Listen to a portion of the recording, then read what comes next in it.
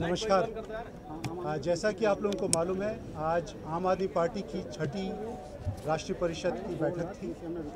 बैठक की शुरुआत सुबह साढ़े दस बजे हुई थी।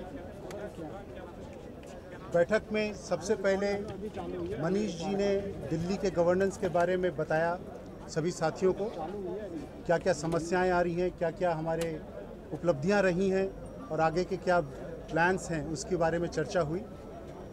उसके बाद आज देश के विभिन्न राज्यों से आए हुए लोगों ने और उन राज्यों के प्रभारियों ने अपनी रिपोर्ट रखी, जिससे ये पता चला कि आज हमारा संगठन देश में कहाँ पे किस स्तर पर है और आगे आने वाले समय में हमें क्या क्या कदम कहाँ कहाँ उठाने की ज़रूरत है, उसके ऊपर चर्चा हुई। आज देश की जो परिस्थितियाँ हैं, जिसमें बेरोजगारी, आर्थिक समस्या और किसानों के मुद्दे जो आजकल फोर फ्रंट पे हैं, वो एक देश के सामने बहुत बड़ी समस्याओं के रूप में उभरे हैं। आज पार्टी के सभी साथियों ने, लगभग 300 साथी जो आज यहाँ मौजूद थे, उन सभी ने इसके ऊपर बैठकर चर्चा की अलग अलग ग्रुप्स में बैठकर चर्चा की और सभा के अंत में हमने मिलकर एक प्रस्ताव पारित किया। इन सभी मुद्दों के ऊपर, जिसके ऊपर संजय भाई अभी आपके सामने बात रखेंगे। और अंत में, अरविंद जी ने, जो कि पार्टी के कन्वीनर हैं, दिल्ली के चीफ मिनिस्टर हैं, उन्होंने दिल्ली में क्या हो रहा है और आगे वाले, आने वाले समय में हम क्या करने वाले हैं, उसके ऊपर बात रखी।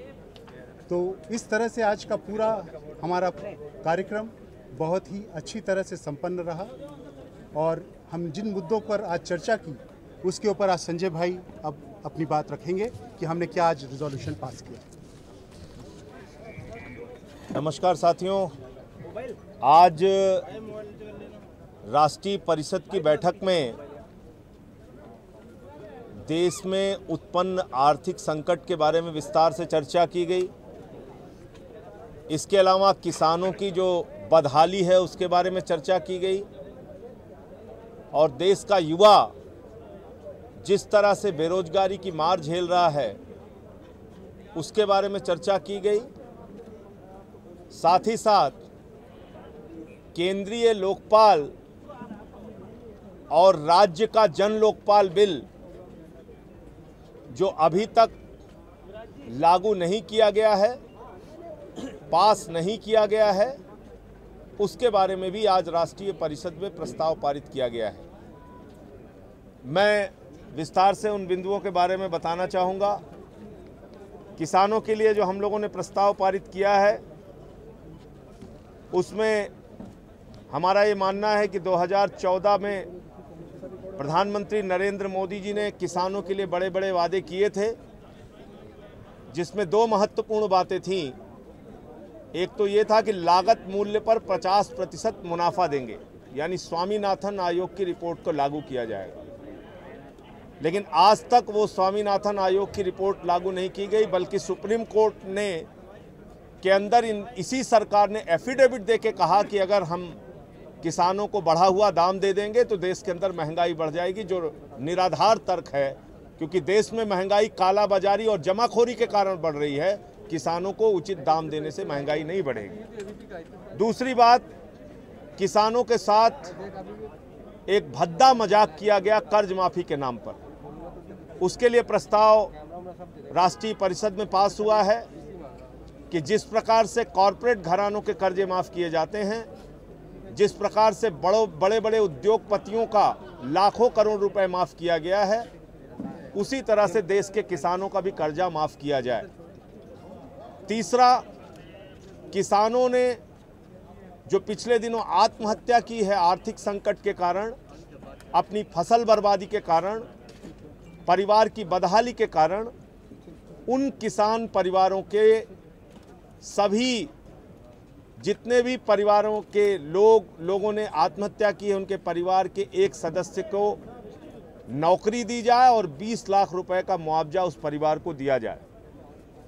इसके साथ साथ हम लोगों ने मांग की है कि पूरे देश के अंदर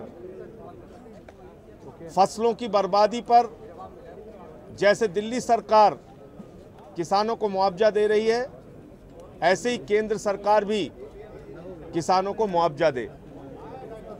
दूसरा था युवाओं के लिए प्रस्ताव। भारत दुनिया का सबसे युवा देश है, लेकिन आज देश का युवा सबसे ज़्यादा निराश है। भाजपा की केंद्र सरकार ने चुनाव के पहले दो करोड़ नौकरियाँ देने की बात कही थी। मोदी जी ने वादा किया था कि नौजवानों को हर साल दो करोड़ नौकरियाँ दी जाएँगी, लेकिन नौकरियाँ देना तो दूर की बात है। 45 प्रतिशत रोज़गार घटा है इस सरकार में। पिछले साढ़े तीन वर्षों में मोदी जी के राज में 45 प्रतिशत रोज़गार घटा है, ये गंभीर चिंता का विषय है। और जिस पर आज राष्ट्रीय परिषद ने अपनी चिंता व्यक्त की, हमने उसके लिए कुछ महत्वपूर्ण सुझाव केंद्र सरकार को दिया है और कुछ प्रस्ताव पारित किया है।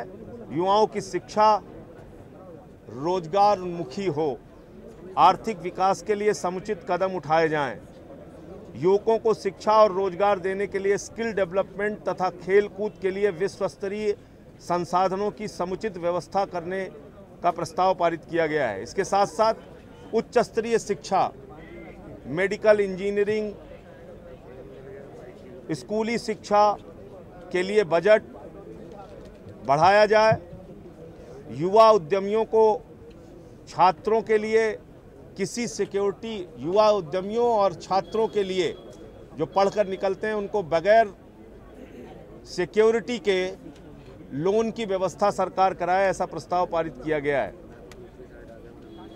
इसके साथ साथ राजनीतिक प्रस्ताव भी हम लोगों ने, आर्थिक प्रस्ताव भी पास किया है, जिसमें आज देश की अर्थव्यवस्था पर चिंता व्यक्त की गई है, किस प्रकार से देश की जीडीपी पाँच दशमलव सात प्रतिशत पहुँच गई है। और इस पे दो प्रमुख कारण राष्ट्रीय परिषद ने माना है नंबर एक नोटबंदी और नंबर दो जीएसटी। आम आदमी पार्टी की राष्ट्रीय परिषद केंद्र सरकार से मांग करती है कि जीएसटी और नोटबंदी के ऊपर मोदी सरकार देश के सामने श्वेत पत्र जारी करे और बताए कि इससे हमको क्या फ़ायदा और नुकसान हुआ है। इसके साथ साथ देश की गिरती हुई अर्थव्यवस्था के लिए जो प्रस्ताव हमने पारित पारित किया है देश की जीडीपी पाँच दशमलव सात सात परसेंट पहुँच गई, ये लगातार गिरती जा रही है। यह सरकार की जन विरोधी और देश विरोधी नीतियों के कारण है। देश को नोटबंदी तथा जीएसटी के दुष्प्रभाव झेलने पड़ रहे हैं। बैंकों के ब्याज दर घटाकर बड़े लोन डिफॉल्टरों की मदद की गई, छोटे निवेशकों का नुकसान पहुँचाया गया। देश के अंदर साढ़े तेरह लाख एनपीए बड़े बड़े उद्योगपतियों और पूंजीपतियों के द्वारा जो अपने उद्योग के नाम पर लाखों करोड़ का कर्जा दिया गया है, जिसको नॉन परफॉर्मिंग एसेट्स और स्ट्रेस्ड लोन कहा जा रहा है। उसके बारे में प्रस्ताव पारित किया गया है कि उन सारे डिफॉल्टर्स की लिस्ट केंद्र सरकार देश के सामने सार्वजनिक करे। अगर बड़े बड़े उद्योगपति लाखों करोड़ लेके बैठे हैं और देश के किसान को दस हज़ार रुपये के लिए हवालात में बंद किया जा रहा है, ये दोहरी व्यवस्था है। सारे डिफॉल्टर्स के जितने भी बकाया हैं, उसको क्रिमिनल ऑफेंस मान के, उनकी संपत्तियों को अटैच किया जाए, उनके कितने लोन हैं वो सार्वजनिक किए जाएँ, और उनके खिलाफ आपराधिक कार्रवाई सरकार करे, ऐसा हम लोगों ने प्रस्ताव पारित किया है। और अंतिम प्रस्ताव जो इसके साथ साथ एक और महत्वपूर्ण बिंदु हम लोगों ने जोड़ा है, जन लोकपाल को लेके।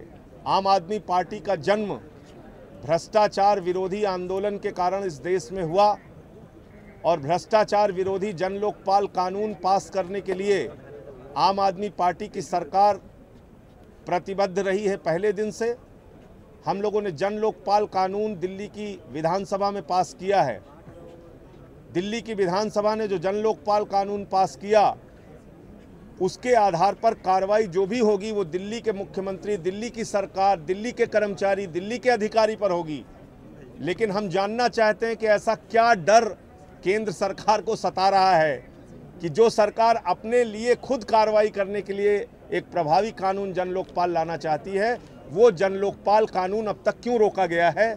इसलिए जन लोकपाल कानून पास किया जाए, ऐसा हम लोगों ने प्रस्ताव पारित किया है। साथ ही साथ, जो लोकपाल कानून केंद्र का पास हुआ था, वो आज तक ना तो राज्य में, ना केंद्र में कहीं भी नहीं लागू किया गया। उस लोकपाल कानून को सरकार ने अब तक क्यों रोक के रखा है? जब मोदी जी कहते हैं, ना खाऊँगा, ना खाने दूँगा, जब वो कहते हैं कि भ्रष्टाचार से लड़ना हमारा संकल्प है तो लोकपाल जैसा प्रभावी कानून वो अब तक क्यों नहीं लागू कर पाए हैं? इसलिए हम लोगों ने प्रस्ताव पारित किया है कि केंद्रीय लोकपाल और दिल्ली राज्य का जन लोकपाल दोनों पास किया जाए। अंतिम जो प्रस्ताव, राजनीतिक प्रस्ताव है, वर्तमान में केंद्र द्वारा अघोषित आपातकाल जैसे माहौल की आम आदमी पार्टी निंदा करती है, तटस्थ तथा निर्भी- निर्भीक पत्रकारों की हत्या, पुलिस द्वारा